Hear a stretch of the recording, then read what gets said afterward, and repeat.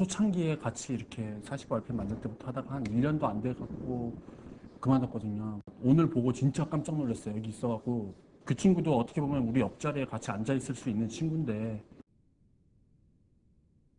이거 안 나가면 정말 후회할 것 같다. 그리고 지금 친구 집에서 얹혀서 살고 있거든요. 보증금을 좀 음악으로 마련을 해서 돈을 좀 벌면서 음악을 이렇게 하려고 하는데 이 쇼미더머니가 한다는 걸 보고 저는 이제 기회라고 생각을 했어요. 저한테는 자극이나 어떤 그런 동기 같은 것들이 없었어요. 그래서 아직도 마음 뜨거우니까 도전을 했죠. 네.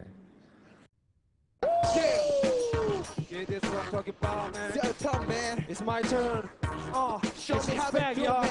Uh, Ask yeah, you to let go. yeah, yeah. 애쉬는 나 솔로 마치 추바카 오늘 팬 솔로 무지 없어 represent Apollo yeah 파트 너에게 들려줄 승전보가 담긴 곡 타이틀은 가로부가로 발소되는 칼의 진동 계속되는 자신과의 전투 증폭되는 징후 거침없이 확실한 스킬로 장식해 속전속결 어우 짧고 굵게 내가 나를 대표해. 나는 나를 내가 대표해 나를 대표해. 나는 나를 대표해 내가 나를 대표해. 내가 나를 대표해 We ain't no got shit. Drop the bed, motherfucker.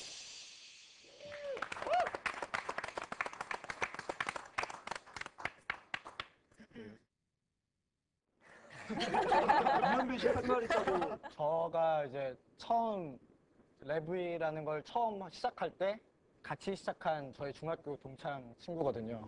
RPM도 이제 같이 가다가 이제는 좀 열심히 했으면 좋겠어요. 만약에 붙게 되면은 또 이제 되게 힘들 거예요. 이병용 씨가 끈기가 별로 없잖아요. 제가 아니까. 멤버 중에 한 명이 그 친구를 때렸어요. 병용이가 나간다고 하고 그때 나갔거든요.